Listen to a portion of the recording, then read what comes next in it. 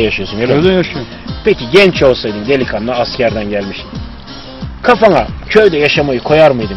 Ya ben şehre gitmeyeyim. Şehre de gidersem bir işsiz fazla olur. işsizlik çoğalır. Tarlam var, tokadım var. Bu kadar arazim var. Burada çalışayım da burada emeğimin karşılığını alayım. Şehirdeki başkalar da işsiz kalmasın diyebilir miydin? Şimdi onu demem için benim burada yeterli arazim olması gerekirdi. Benim babamdan bana 10 dönüm tarla değil. Evet. Bu 10 dönüm tarlayla ben burayı bekledim. Sadece bir 7-8 sene yurt dışına gittim, geldim. İşte çalışıyoruz, çabalıyoruz. Bundan kazancından, kendi kazancından 5-10 dönüm daha tarla aldık. Böyle bekliyoruz işte.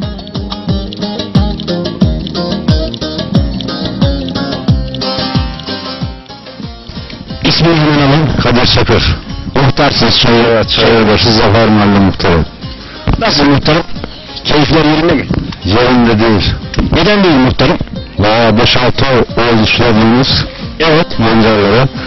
Hiçbir şeyimiz yok. Burnunu aldığımızda mazot çevireceğiz. Biz hiç bize bir şey kalmıyor. Ne kadar mazot yaptınız? İki buçuk oldu. İki buçuk milyar. Evet. Peki pancardan kaldığınız ne kadar olacak? Aldığımızda bu da olacak yani. İki buçuk kafa kafaya. Kafa kafa aldığımızı verebileceğiz yani. Hiç bu sene çok mu ümit ediyordunuz para çok öder diye? Çok eder diye ümit ediyorduk da bu da olmadı yani. Ailece çalışıyorsunuz değil mi? Evet aile çok çocuk yani. Yormayı da kurtaramadık diyorsun. Kurtaramadık. Bu da bizden yani. Evet. Yenge kolay gelsin. Hoş geldin, hoş geldin. Muhtarım ne diyor bak biz bu yormayı kurtaramadık. Sen ne diyorsun? Biz kurtaramadık gülüm. Bir yerde çalışıyoruz burada çoluk çocuk hepimiz de. Benim bak bir tane burada vuruyorum, iki tane iki tane vuruyorum okuyorum. Ağaca yetiştiriyoruz, yetişmiyor.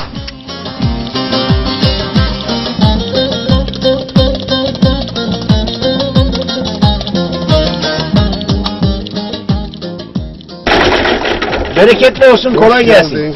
Hoş geldiniz. Nasılsınız? Köylü İyiyiz. milletin efendisi demişler. Milletin Tabii. efendisi. Tabii. Evet, şöyle milletin efendisidir. Millet pancar yoluyor, Evet. çıkarıyor, kesiyor. Siz de burada ne yapıyorsunuz şimdi? Burada ekiyor. Buğda ekiyorsunuz. Pancar yerine burada ekiyor. Pancarı kaldırmış yerine. Pancarı yerinden kaldırdım. Burada ekiyor. Nasıl? Bu sene iyi miydi işte? Pancar zarar ediyor. Pancar zarar ediyor. Yüzde yüz. Zarar ediyor. Zarar ediyor. Yüzde yüz. Gübre de çok fiyatlı. Gübresiz bulda ekiyor. Gübresiz mi ekiyorsun buğda? Evet. Buğdayı gübresiz. Pahalı olduğu şey Pahalı olduğu alamıyoruz. için Alamıyoruz. alamıyoruz. Şimdi şu an gübresiz bulda ekiyor. Mazot pahalı, gübre pahalı. Mazot bağlı, gübre bağlı. Evet. Çiftçi Mecburen ekiyoruz. mecburen ekiyor. Peki ne diyelim? Aslında bu çiftçi böyle sürmez yani biter. Çiftçi bitti şu Peki gübresiz ektiğiniz zaman verim ne olacak? an. Verim düşüyor. Emek aynı, Aynı emek aynı. Sen verim neresi? düşüyor. yarı yarıya mı olacak? Yarıdan da düşüyor. Şeye gitmeyeceğiz mi? Kolay gelsin. Sağ olun.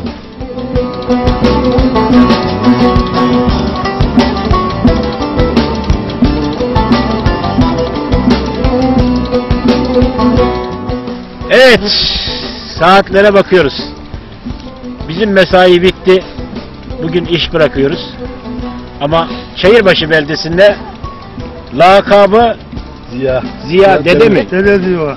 Çayırbaşı beldesinin dedesi hala çalışıyor. Mesai devam ediyor. Kaçta başladık? Yedide. 7'de başladık. Ama yedide. Kaçta bitecek abla? Beraber gidiyoruz.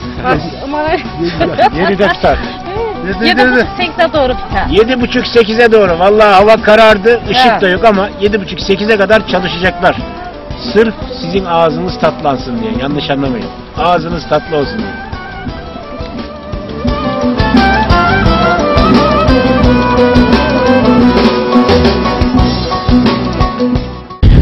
Halil Bey, Halil Pehlivan'la beraberiz. Belediye meclis üyesiniz. Şimdi de pancarlar artık bitmiş yavaş yavaş. Son tarlada arıza yapmış. Ara sıra böyle zorluklar da oluyor. Oluyor bari arızlı oluyor. Pompası arızalanmış makinenin. Onlar e, Konya'dan şey, servisi geldi. Onun arızasını gidermek istiyorlar. Gideriyorlardı. Nitekim bir şeysi kalmadı. Peki her tarlada böyle makine var mı? Yoksa insanların bazıları zor durumda olduğu için elleriyle mi yapıyor? Her tarlada yok. Her şahısta bu bir iki komşumuzda da var.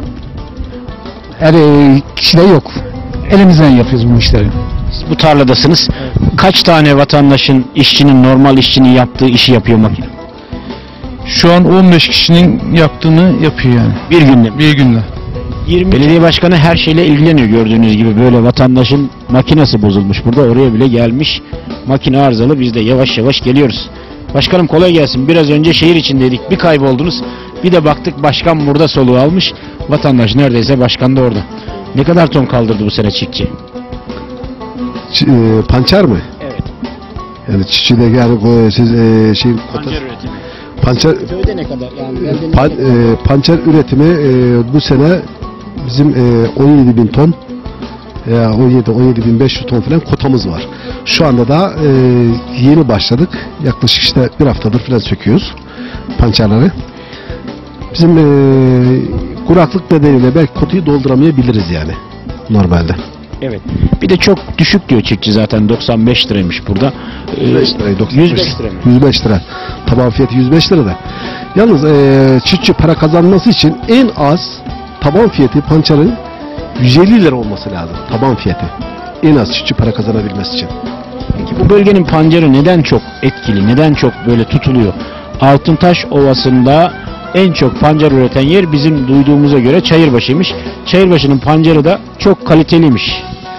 Altınbaş Ovası'nda derken Altınbaş Ovası'na doğru da Kütahya'da Kütahya Şeker Fabrikası'nın en fazla pançer eken belde bazında belde bazında veya köy bazında Çayırbaşı, Kütahya, Kütahya olarak ve Kütahya'nın da e, en fazla e, ilçeler bazında pançer eken ilçesi Altıntaş. Altıntaş yaklaşık Kütahya Şeker Fabrikası'na 100 bin ton pançer veriyor. Yaklaşık. Bir, yalnız bu sene e, kuraklık nedeniyle belki bu olamayabilir. Kuraklık olmadı mı 100 bin ton Altıntaş ilçesi olarak. Altıntaş ilçesinin de köy bazında veya belde bazında en fazla pançer eken e, beldesi ve köyü Çayırbaşı. Yaklaşık bizim e, 18 bin ton, 20 bin ton pançer ekilir. Yalnız bu sene e, 17 bin veya 17 bin 500 ton falan kotamız var şu anda. Peki ne kadar, yüzde kaçı şeker oluyor pancarın? Yani 100 kilodan ne kadar şeker çıkar? Şeker oranı yaklaşık burada 18, 20, 22'ye kadar çıkıyor. E, şeker oranı. Şek- 22 şeker. evet, oluyor. normalde. Pancarın değişik şeyleri nasıl kullanıyor? Yani ömürküler atılıyor mu yoksa e, onlardan faydalanılıyor mu? Pançarın e, küspesi oluyor, belezi oluyor ve bunları da hayvan için getirip tekrar kullanıyoruz. Zaten e, çiftçiye yüzde yirmisini fabrika tekrar geri veriyor.